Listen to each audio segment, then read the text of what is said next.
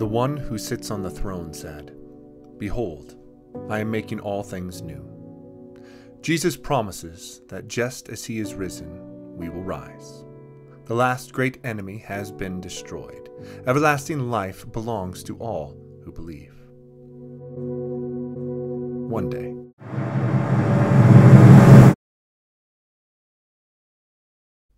But for us, some days, that day feels like it will never come, like it's been made for someone other than you.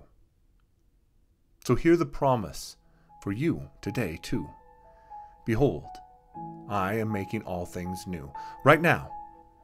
It doesn't just mean that one day everything will be fixed, it means that things are allowed to be broken today.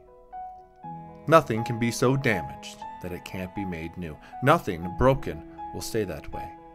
We can look forward with hope, even when everything else falls apart. When today is still broken, he who sits on the throne wants you to cling to his promise now. You are a child of God. You are already a child of the resurrection. Call the sin that destroys what it is. Call death the last great enemy. It has already been defeated.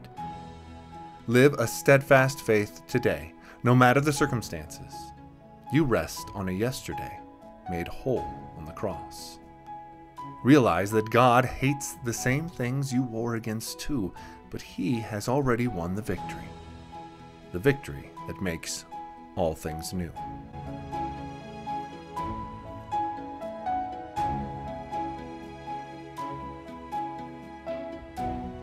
Join us in the summer of 2025 for All Things New.